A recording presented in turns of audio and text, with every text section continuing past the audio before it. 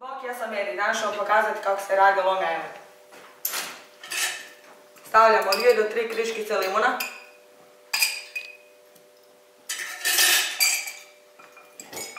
To lijepo zdrobimo.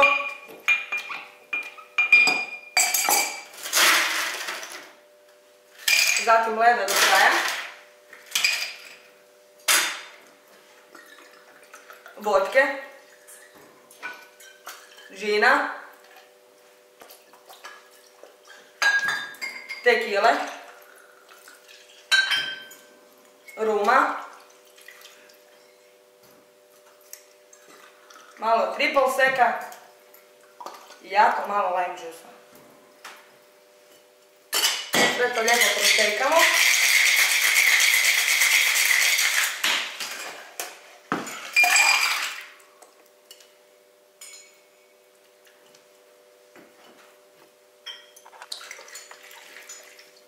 I za kraj malo kola.